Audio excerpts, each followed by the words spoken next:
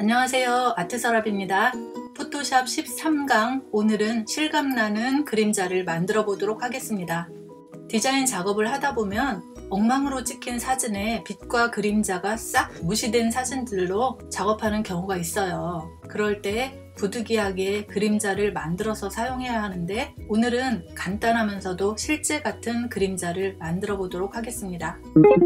컨트롤 O를 눌러서 001번을 가져오겠습니다. 001번을 가져오시면 제가 path 작업을 해놨습니다. 혹시 path 창이 보이지 않으시면 window에서 path 창을 활성화시키면 됩니다. 컨트롤 누르신 상태에서 이 작은 네모창을 클릭해 줍니다. 그러면 파인애플이 활성화된 게 보이시나요? 이거를 키보드에서 컨트롤 J를 눌러줍니다. 컨트롤 J는 복사해서 붙이기고요. 다시 layer 창으로 가보겠습니다. 조금 전에 컨트롤 J를 했더니 복사해서 붙여진 게 보이시나요? 그러면 아래에 있는 layer 창에는 헷갈리니까 색상을 조금 주겠습니다. 연한 연두색 계통으로 주겠습니다. 그러면 파인애플이 온전히 보이는 게 보이시죠? 이 파인애플을 하나 더 복사하겠습니다.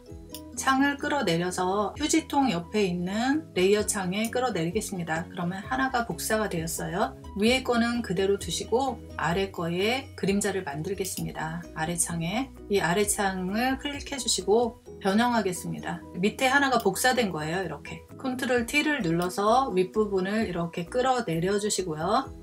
컨트롤을 누른 상태에서 옆으로 찌그러뜨리겠습니다.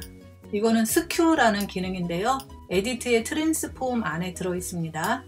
이렇게 찌그러뜨려서 적당히 만들고 싶은 그림자를 만들겠습니다.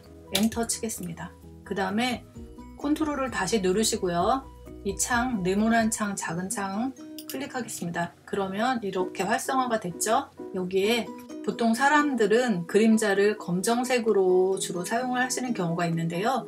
제품의 색상이 살짝 묻어나게 만들면 훨씬 더 리얼한 그림자가 됩니다. 그래서 색상 창을 클릭하셔서 제품의 색상을 클릭하시고요. 아랫부분 검은 부분으로 내려오겠습니다. 그러면 붉은 갈색이 섞인 그림자가 되겠죠? 그러니까 너무 진하면 안 되니까 이쪽으로 조금 할게요. 그래서 오케이 하시고요. 여기에 색을 주겠습니다. option delete 이 활성화된 거 해제하시려면 컨트롤 D고요. 해제하셨고 그 다음에 그림자가 너무 진하니까 blur를 좀 주겠습니다. 필터에서 blur, Gaussian blur 이렇게 클릭해서 이렇게 놔보면 보이거든요. 오케이 누르시고요. 이렇게 했는데도 그림자가 너무 진하고 리얼하지 않아요. 그래서 이번에는 마스크를 주겠습니다. 세 번째 마스크 있고요. toolbox에 gradient tool이 있습니다. 클릭해 주시고요. 윗부분에 옵션 창에 가시면 검정색, 흰색으로 된 gradient 눌러주시고요. 오케이. 지금 여기에 조금 전에 해놨던 마스크 창을 클릭하신 다음에 여기에서 gradient를 이렇게 끌어서 주겠습니다. 그림자 윗부분까지. 그러면 그림자가 이렇게 연하게 모양은 살아 있으면서도 real 그림자가 되겠죠? 마음에 들 때까지 하셔도 됩니다. 이렇게 만드시면 되고요. 파인애플 윗부분 조금 올리겠습니다. 이렇게. 그래도 조금 부족한 것 같다 싶으면 toolbox에서 burn tool이 있습니다. burn tool로 파인애플 아랫부분은 조금 더 진하게 해주겠습니다. 파인애플을 조금 진하게 해볼까요? 그래서 real 그림자가 되었습니다. 잡아서 중간으로 좀 놓을게요. 이렇게요. 그림자 만들기 아주 간단하죠? 오늘은 여기까지입니다.